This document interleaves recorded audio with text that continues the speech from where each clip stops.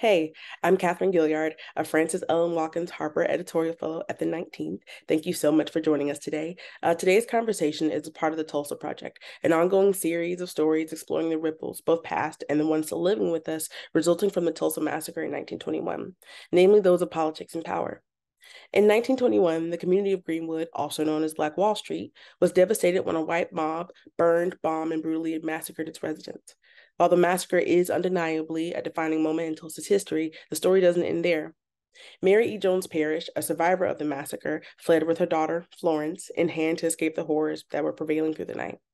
She returned, dedicating her work to recording the experiences and stories of other survivors in the community. Around 1922, Parrish published her seminal work, The Nation Must Awake, also known as The Events of the Tulsa Disaster, what will become one of the most referenced and foundational accounts of the massacre to date. Despite the gravity and impact of this work, when the conversation lands around survivors and impactful Tulsans, many women, Mary among them, are as built from the built from the fire author Victor Luckerson says, relegated to the footnotes of history. In 1972, Mary E. Jones Parrish passed, but her legacy continues. Anneliese M. Bruner, Parrish's great granddaughter, has used her work as a writer and lecturer to amplify the women of Tulsa, namely her great grandmother, and their work to give them their flowers and credits where it's due. Join us for a conversation with Bruner as we explore her journey to uplift Mary's name and her work so that we never forget them. Hello, Anneliese, and thank you so much for joining us today. How are you? I'm fine, Catherine. Thank you for having me. I appreciate your asking. Okay, so I want to start with something you told me, uh, corrected me actually, um, and I'm glad you did when we first spoke uh, in talking about the Tulsa massacre. Um, and you said it's like we call it the massacre and why. Um, so I want to ask you, why aren't these terms interchangeable with regard to what happened in Tulsa in 1921?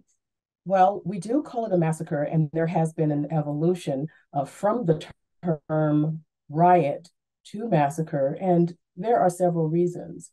I think Dr. Scott Ellsworth uh, mentions this in many of the lectures that he does. Uh, one of the primary points is that the insurance companies at the time were prone to calling these things riots because within the insurance policies, the term riot is very specifically used to kind of help them evade respons- financial responsibility. So once uh, disturbance is deemed a riot, then the insurance companies are off the hook uh, for paying out on the policies. We saw that very much to be the case in Tulsa, and certainly one can extrapolate and believe perhaps that in the other uh, cases where there have been these what, what we call pogroms uh, in Black communities across the country, for example, the Red Summer, um, perhaps those were the same kinds of um, machinations that uh, insurance companies used. Uh, newspapers of the time, which were pre- predominantly of the um, dominant community, uh, also called it a riot in order to um, to escape or to avoid having to um, lay the blame at the foot of um, those who were in power and to kind of make it an equal situation when it actually was not. And so a massacre is that word is actually much more descriptive, much more correct, much more historically accurate. I want to pull the thread on that a little bit um, and speak to. Uh, we're here today to talk about uh, your great grandmother, Mary Parrish, um, and uh, particularly to uh, the work that she did in writing um, uh, the, the Nation Must Awake. Can you speak to what happened in Tulsa that underscores the reason for this being a massacre and and where uh, Mary's work comes into the picture. Work comes into the picture, I think, um, in terms of her having been asked to do this after the fact, but also certainly there had to be had to be an internal drive. I know that in my own writings about this topic, I was inspired, I was spurred, I felt compelled to say what I thought um, and to um, draw the parallels as I have between uh, what happened uh, in Tulsa in 1921 and a more recent um, uprising, if you will, um, an attack on democracy itself that happened on January 6th. Um, so, in, in my hometown now, uh, Washington, D.C. And so, when we think about the events and and that was the original title of her book the events of the tulsa disaster certainly it was a disaster Uh, but events uh, is a very nebulous term and it's open to interpretation. But in terms of a through line, the story is uh, familiar thematically. Um, there is a precipitating event, which we know uh, was Dick Rowland going into the elevator with Sarah Page in the Drexel building. Some kind of kerfluffle happened. She screamed. He, aware of what that would have looked at like to other people, particularly um, in that business, the white downtown business environment of Tulsa, he fled. And um, fearing for his life, of course. Um, and eventually it came to pass that he had good reason to fear. Um, that was really the the um, kind of, as I said, precipitating event. But there were things going on in the background that were setting the stage for this conflagration that happened. Because one can certainly um, and reasonably assume that within the number of hours from that event, his arrest, the attempted abduction, his attempted abduction from the jail, and the massacre over the two days of May 31st to June 1st, the planning would have had to already be in place. It just was so um, effectively and and and cruelly executed um, that it doesn't seem haphazard. And so certainly the people would have wanted in living in that time would have wanted to respond to that. Can you tell me uh, more about the moment that you first learned about Tulsa um, and your connection to Mary Parrish? Well, that's a complicated question, um, and I'll try to parse it out in an understandable way. Um, as I mentioned a few moments ago, I do live in Washington, D.C. It's been my home for almost 40 years, uh, but I maintained close connections with my relatives in San Francisco, where I grew up. And um, there is a reason why I was in San Francisco, why I found myself there as a child. Um, it was because my father followed his mother, who was Florence, little Florence, in, in Mary's account, followed his mother to California. She had come in the 1940s, I believe, searching for a couple of different things um, one of them being her husband, who had gone off to war in the Pacific Theater and didn't return home. And from what I can gather, uh, people didn't weren't really aware of what had happened to him. And so she went behind trying to find out. Um, she settled there. My father remained in Tulsa, and he came later after he had, for college after he had graduated from high school to reunite with his mother. Um, when I found out about the book. I was in my mid 30s. My father gave me a copy. I'll show it to you now. It's a little red book called Events of the Tulsa Disaster by Mrs. Mary E. Jones Parrish. And this is the actual copy that he gave me. It is inscribed by one of the Jones family members to William Bruner Jr. I don't know if you can see it at all, but it's to William Bruner Jr., my father, from Carol A. Jones, someone who was obviously a, a, a relative of Mary Jones Parrish. Uh, when he gave it to me, he did charge me with doing something with it. He had never mentioned it before. He'd never talked very much about his childhood, his teenage years in Tulsa. He had never, from what I can gather from my mother, and and they divorced when we were quite young. He had never spoken about any of this to her either. Her mother in law, Florence, never spoke to her about this. And um, so it was, I, for lack of a better term, a family secret. But I can't say that it's because anyone was ashamed or it was because um, this reason or that reason. I can only speculate. I can only say to myself, as a way of helping myself reconcile um, this thing that was hanging in the air over our family all this time, uh, and no one uh, having mentioned it to me, I can only say that perhaps they were trying to protect us um, as children, as young people, from the knowledge of such a heinous crime uh, for which um, justice had never been served. And so, you know, I, I think a lot of families want their children to grow up without the burdens of some of the horrible events of the past. And perhaps for their own sanity, they put it aside because they feel that there isn't anything that they can do about it. Um, and so my father didn't give it to me until I was, I think he thought I was ready. I think that's what, I think that was, you know, he was deliberate with his timing. And of his four children, he chose me to be the one um, to carry this um, story of Mary Parrish, Parrish and her work forward. I know we've talked before, and I think when um, we were speaking before, I was I kept thinking back to the exact night you mentioned um, Little Florence at the time. Uh, from the moment like Dick Rowland his escape, like uh, Dick Rowland and the attempted uh, kidnapping of him, and the moments that led up to um, the massacre starting, to when Little Florence comes up to her mom and she's like, you know, there are men at the window. I see men with guns. Can you speak about that moment? I really want to um, set that scene for people. Absolutely. Um, it is a pivotal moment in the book. It is a pivotal moment for my family. It is a pivotal moment for me personally. Um, the events had, were unfolding, and I use the term very much, I guess, the way she would have. Events were unfolding right on Greenwood Avenue, and her apartment was right on Greenwood Avenue in the Woods building. She had her small business there. She also had her apartment there where she and her daughter lived. She had had a, a long day.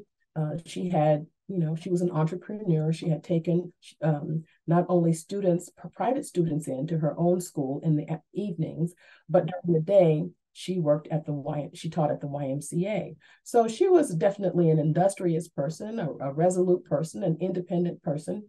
And she says, even in the book, she had never really wanted for anything uh, within reason, and she was always able to provide for her child. And so she was relaxing after a very long day at work, a day at the office, a day at her second job. I mean, you know, these things kind of sound familiar to us, don't they? And so she's there, you know, trying to unwind uh, for her evening uh, and do a little reading, something recreational, something just for herself. And she being a warm evening, she had opened the window and um, let the evening breeze in. It was it was still spring, and so it wasn't unbearably hot yet uh, at night. And so little Florence was amusing herself by looking out the window and watching the world go by. And as she saw the world go by, it was turning into a very dark world. There were men out there with guns, um, and we don't know exactly who uh, the folks were. Were they the people who were defending the district? Were they the, were they the invaders? We don't have you know that level of uh, detail, but we do know that she cried out to her mother, "I see men with guns!" Agitated, obviously, um, and Mary initially didn't take heed of you know her previous kind of agitation at the window. But when she said men with guns, that's when Mary flung her book aside, jumped to the window, and saw that her child, only seven, was saying something that was factual, that was real, that was happening in real time. It wasn't, you know, playtime. Playtime is over. And uh, she remained uh, in the house for a while. Fires had started to burn. Uh, the invaders were encroaching on the district. Her neighbors had fled. But she was thinking, uh, perhaps uh, it'll be better just to stay in my in my home. Uh, things may blow over, but they didn't. And as as the conditions outside grew worse, um, she decided that she had better pray and, and make her escape with her child, uh, running north on Greenwood Avenue uh, towards safety. Uh, when she hit the street, um, and this is very difficult for me to contemplate when she describes getting out onto the street and a voice ringing out, get out of the street with that kid with that kid or you'll both be killed because that's how dire the circumstances were. Planes flying dropping bombs and bull and uh, uh, dynamite uh, and uh, people shooting fires um, uh, folks driving by running over pedestrians um, you know, uh, shooting, basically what we would today call a drive-by shooting, shooting people as they fled. And so um, they were in a perilous, uh, perilous position. And uh, through grace, she was spared and she was able to live and write about it. there are so many um, accounts and uh, both from the, the nation must awaken and um, mary's accounts and others that i've seen that speak to some of the horrors of that night and i can't even even with the words in front of me imagine what being in that situation like it, it, feels like um looks like living through it and then coming back to doing that work. People spoke about like seeing cars dragging the, the bodies of black men down the street even when some of the fire brigades came to put out some of the fires the part of the white mob who descended on greenwood were shooting um and and like mowing down the members of the fire brigade so they couldn't even save you know the the people who were trying to save you know what little bit that they could um uh, uh, of the district and these people's lives and livelihood. Um, but to to see that and to to go through that and then to come back and do the work that she did, um, it's it it it, it it's a, a a big thing to wrap, to wrap my mind around. But Mary did it. Um, so like I and now I want to talk more about her work, but I um, want to take a like a pause and whenever you speak about and we've spoken before and I've you know read your writing there's a, a way uh, and an intention and this kind of um uh, honoring uh, in, in in your voice when you speak about Mary and her work. So I want to ask you in your words uh, tell me who your grandmother um was uh, your, your sorry your great grandmother was and what, what does her work mean to you? Well I am in awe of what she did. I am in awe of the fact that she remained so resolute um, in the face of having just experienced this horrible trauma. Um, she actually took, she says she took comfort in coming back and helping to the, record the stories of others who had similarly lived through uh, this awful event. Um, she calls it a Holocaust, um, and she likens it to the pogroms in Poland and Russia at that time. And this was, you know, uh, on the heels of World War One, and we know that there were so many anti-democratic and authoritarian forces afoot in Europe that were affecting the whole world. Mary was a person who was aware of all of that. Uh, these, and, and I think she was an exemplar of what we saw in Greenwood: people who were engaged in the world around them, who were engaged in, um, you know, uh, civic and political life, who were engaged in um, uh, financial acquisition, learning to be independent and stand on their own, uh, because you know they had uh, certainly them or mem- or or their immediate uh, forebears memories of enslavement. And so these were people who were on the move. These were people who aspired to things for themselves and their community.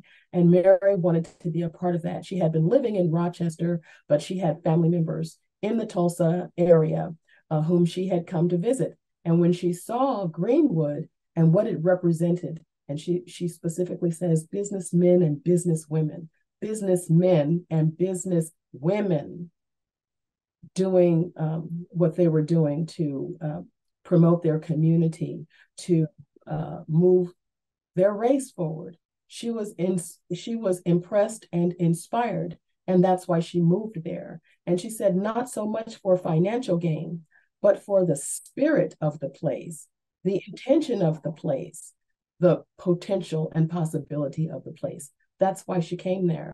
And um, she didn't abandon Greenwood. She came back and she told the story. And I, I, I forever am grateful to her. And I think that um, we should all be um, somewhat reverential of her memory because um, of the uh, importance of, of, of, this work um, and its centrality to so much of the scholarship that has happened um, in the years since.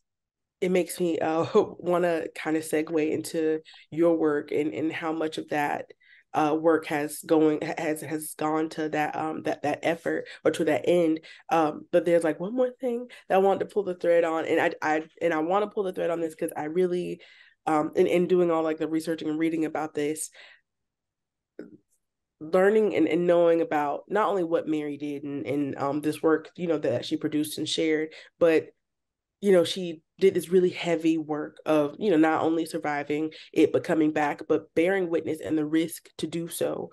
Um, and I want to speak to like how risky that was and how that adds to the gravity of um work what this work means. Um, can you speak to like what was the temperature of the country at that time? Um, one thing uh, I'll say as, as a preface to my uh, comments um, is that when people started to research this in much later decades, like in the 70s, 80s, 90s, or whatever, reporters at that time who came and were asking questions about what happened in Tulsa, they received death threats. They received death threats. And um, a lot of the newspaper accounts of the time were never transferred over into microfilm and microfiche. And so one can conclude that there was a certain impetus to uh, squelch this story and to kind of keep it under the lid. So if we imagine that in, you know, the latter part of the 20th century, think about the earlier part of the 20th, 20th century, the risk of talking about this, exposing this, um, br- bringing attention to it certainly had to be great. Um, and uh, I, I, mentioned business women uh, in that district. There were um, social organizations that were typically charitable and so forth. Um, even domestic workers, they had their own group of, of folks now, we do know that immediately in the aftermath, in the next few days, those people had to still go to work. They had to still show up in downtown, in the places and the homes of people they knew had come and participated in this um, in this horrible, horrible catastrophe. So the atmosphere um, that was prevailing in the wake of the uh, massacre had certainly had to be one of tension and fear. Um, one can easily imagine um, when we think about what happened in the latter part uh, of the, um, the 20th century when reporters were trying to find out more information about this kind of hidden event. And I, I and I, I won't just say hidden, that's a little bit passive. The news of this was deliberately squelched. Uh, this was not something that initially Tulsa was particularly um, happy to have uh, to have known uh, uh, uh, uh, in a broader sense. They they didn't want people to know about this. It was, you know, um, anathema to their promotion of the city as a place to do business, and for any number of reasons. I I, I wouldn't go as far as to say that very many people were um, ashamed on a moral level but certainly some were. Um, I, I, I, don't know that, that those were the people who were in power. Um, and, and, to your point about what the climate was like. So it would have been, you know, a, a risky proposition to, to go around reporting and talking about this. Uh, but at the same time, we also know that it was a time of, um, I will say, infiltration of, of the government uh, at the state level and at the local level by the uh, Ku Klux Klan uh, Victor Luckerson in his book names uh, in in Mary Parrish's book. I think certainly they knew or had their suspicions. I don't think they dared to put that down in print. That these are the these are the city fathers. These are the you know the uh, newspaper owners who participated by word or deed in this awful and these awful deeds. And, and so I'm certain it was a tenuous uh, time to be going around asking people questions. And if you'll notice in the book, in her stories, some people wanted to remain anonymous in their comments. That tells us a lot um, thank you for that. I, I really wanted people to um, like I like I said, understand the, the gravity uh, of that, um, which is why I think Mary's story is is so important. Um, before we talk a bit more about your work and where your work has come in in, in uh, singing Mary's song and giving her her flowers, um, when I was uh, reading the the afterwards you wrote in the Nation Must Awake uh, that you published in, in 2021, um, in it you tell the story of your friend whose family um, had fled Tulsa during the massacre and found refuge In Detroit. Um, and even gener- generations later, we're still feeling the ripples of the displacement, especially financially. Um, can you speak to the discourse around um, economic empowerment and mobility and how it stands up without the inclusion of intersectional experiences? Like I think of people who are disabled and those who, like your friends, family, and so many in Tulsa, have been displaced due to events like this and had no like aid or compensation or appropriate resources um, to rebuild.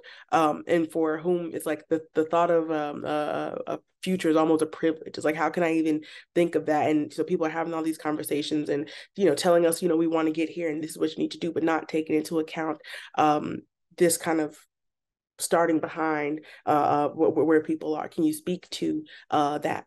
So I have used the word disruption, and I think that it's important to recognize that um, it's a cliche. People say for every step forward, there are two steps back, and we don't really um, delve into the import of of that notion. And I think in Tulsa, it is particularly easy to grasp. We see that um, people have been making progress. Um, people were standing up on their own two feet all um, you know tropes of um, uh, lack of industry in the black community lack of ambition uh, lack of intellect all the kinds of negative things that are um, the the tool of an abusive system to excuse its own evil. And so um, we see that um, although Tulsa did have its problems, we, I think, sometimes romanticize um, the um, level of development there prior to uh, the massacre. I mean, Mary talks about it in her book. There were some, you know, open air sewers, things of this nature, because in the north of the north of downtown Tulsa, where Greenwood was, where Black Wall Street was, Greenwood Avenue, there was a dearth of public utilities. Everything wasn't lit the way it was in downtown Tulsa.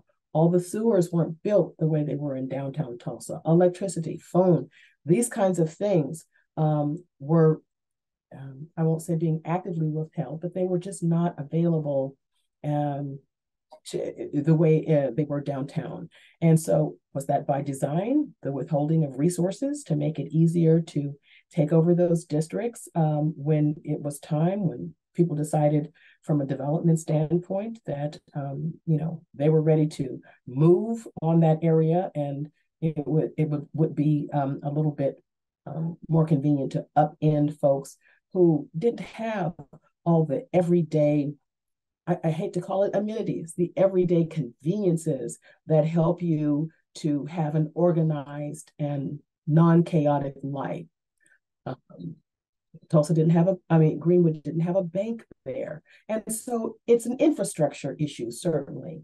And um, I think that um, people fail to sometimes understand that there is a supporting scaffolding uh, to society that provides people with uh, the support and the uh, and the grace, the time and the space to pursue the things that actually move them forward, that are beyond subsistence level existence.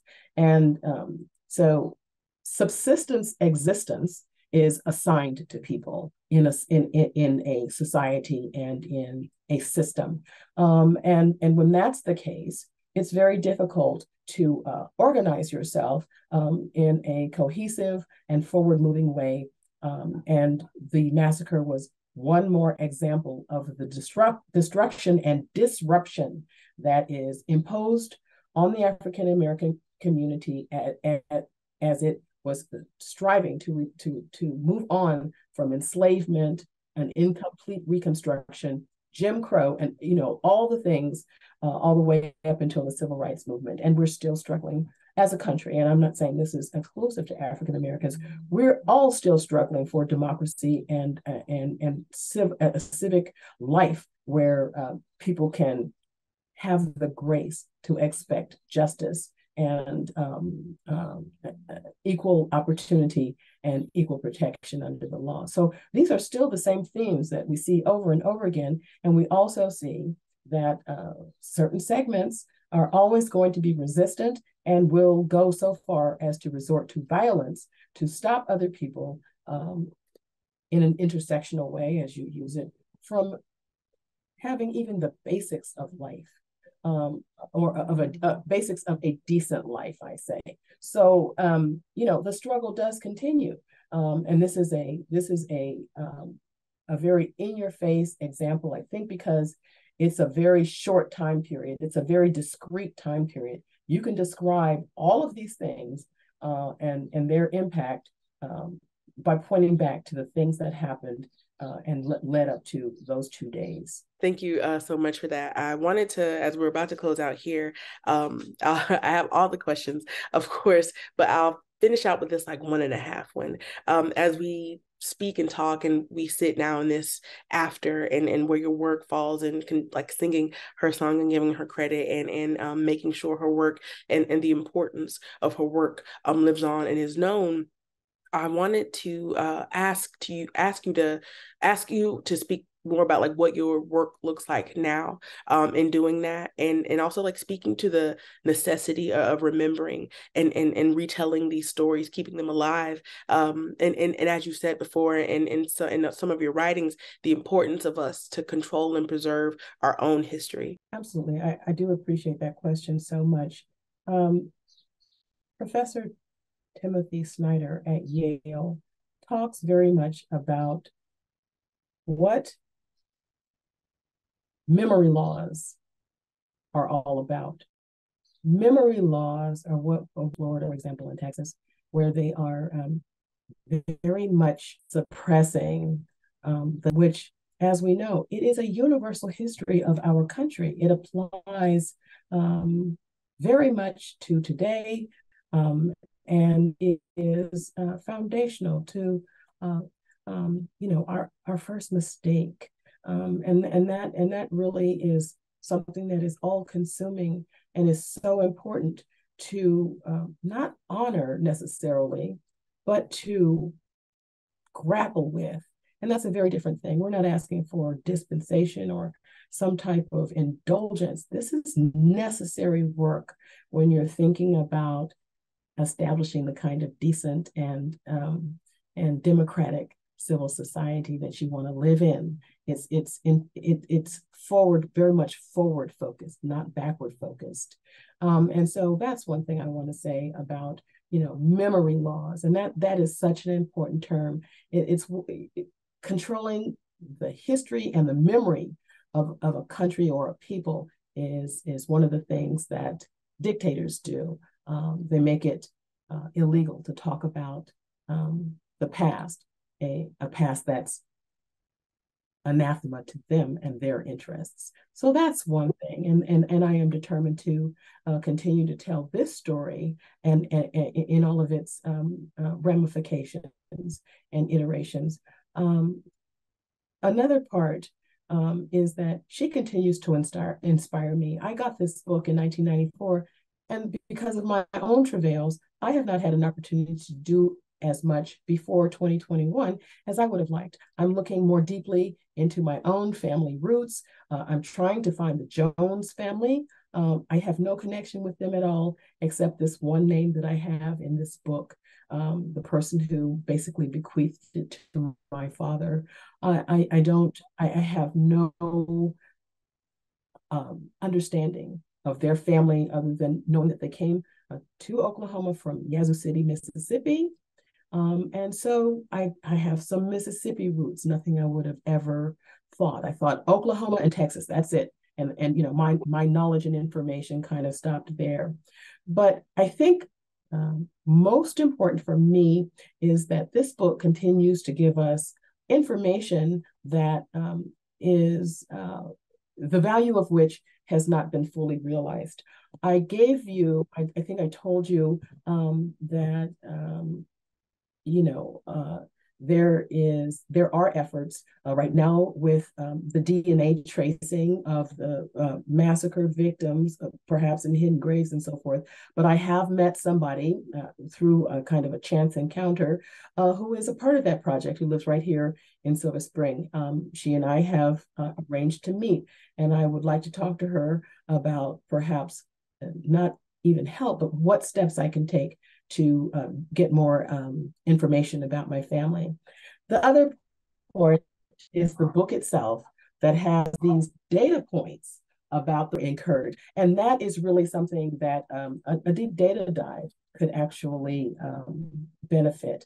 Um, and certainly valuations have been made about what was lost, but it's not just the monetary valuations, it's what the what does $125,000 represent in, in, in 1921? What does that represent in terms of work, effort, planning, execution, sophistication? What does that represent for a community that has been um, so marginalized um, and so under attack?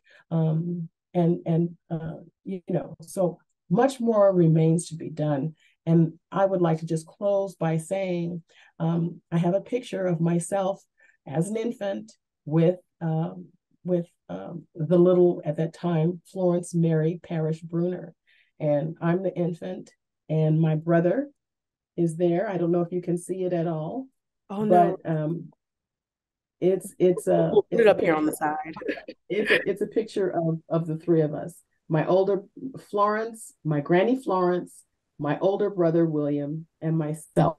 Thank you so much for sharing that. Thank you, Anneliese, so much for your time today, your labor into this work, for being a part of this series, uh, and for honoring and sharing Mary with us. Um, that photo, uh, it, it means the world to me.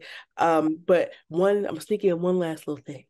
Um, if you could say just one thing to Mary Parrish, what would you? And if you could tell people only one thing about her or her work or her story, um, what would you?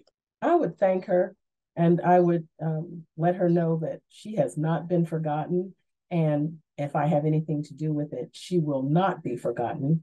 Um, I will continue to amplify her, her work, and um, this work in general. Um, and what I would like for people to know about her is um, her her sense of personal um, resolution, her her resoluteness. Her um, she was intrepid. she envisioned something and she was able to carry it out that's really um, a valuable lesson for us all. Um, and also, um, you know, take advantage of your talents, um, bring them forward in, in service to the world. And that's it. Thank you so much again. I have all the thank uh, thanks and gratitude for uh, this space and this time and conversation we had today. Um, thank you all out there for joining us for this conversation. Uh, definitely go to the 19thnews.org to check out more about Tulsa and our journalism um, and keep safe out there. All right. Bye, everybody. Thank you, Anneliese. Thank you, Catherine.